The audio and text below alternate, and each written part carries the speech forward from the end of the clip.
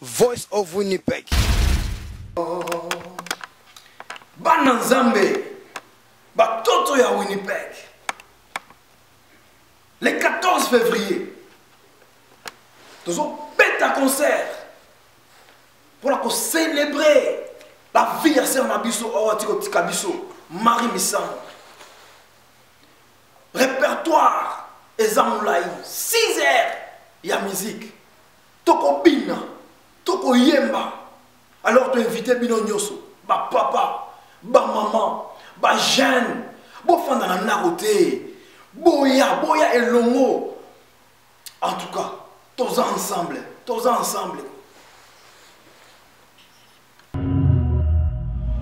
voice of winnipeg